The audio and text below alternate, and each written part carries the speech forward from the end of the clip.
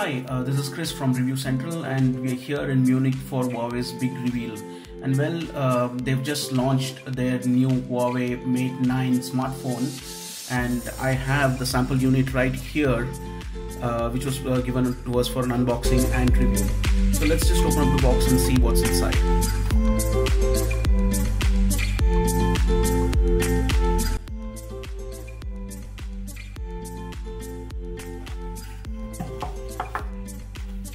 This is the Mate 9, uh, which is Huawei's flagship device, and it is positioned above the P9 series of smartphones.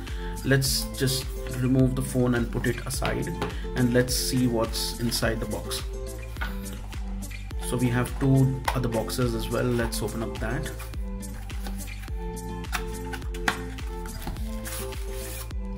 So in this box we get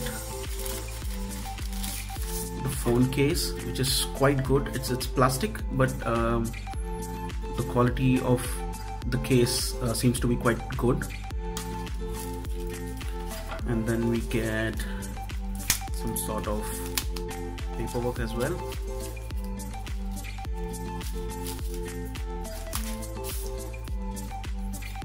So yeah that's a quick start guide.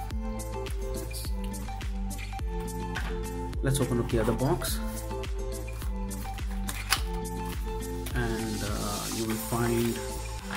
charging cable. The charging cable is a USB-C uh, type C charging cable. You also get the uh, the Huawei uh, headphones as well along with the device.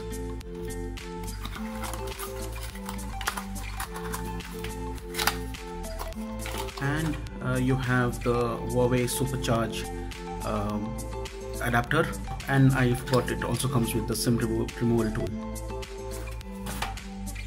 So inside the box you get the Huawei Mate 9 smartphone along with a bunch of accessories. The accessories include uh, the phone case uh, which is uh, which is made of plastic but uh, seems to be of good build quality. You also get the Huawei Supercharge uh, adapter. Uh, you also get a USB Type C cable, charger cable um, a pair of uh, earphones, the quick start guide, and you also get a SIM removal tool.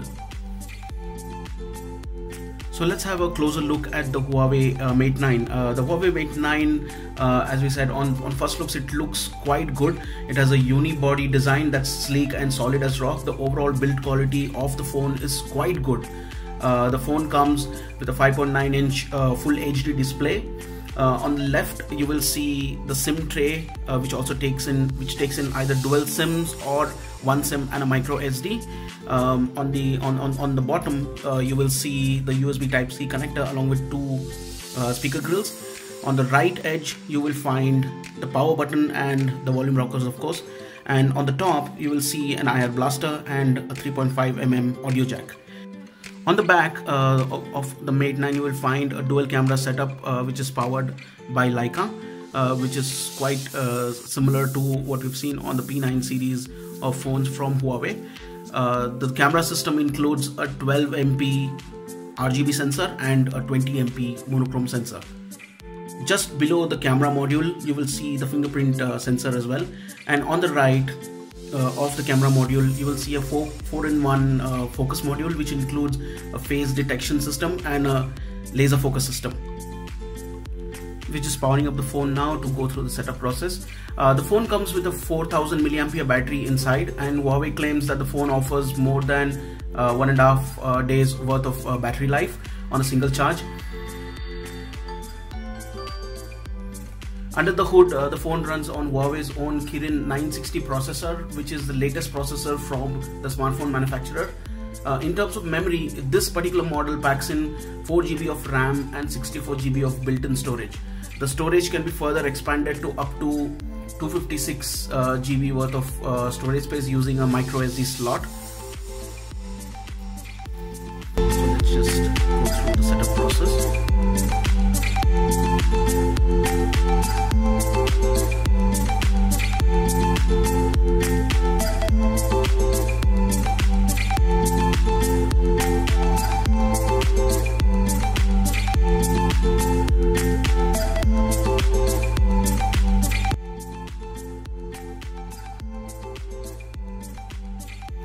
There you go. This is how the the screen uh, the, the, the home screen on the Huawei Mate 9 looks like. It's quite good it's quite fluid and uh, you will see that it's, it's, it's a typical it's a, it's a very familiar Huawei like uh, user interface. So uh, that's all for now. Stay tuned for a full-on review on reviewcentralme.com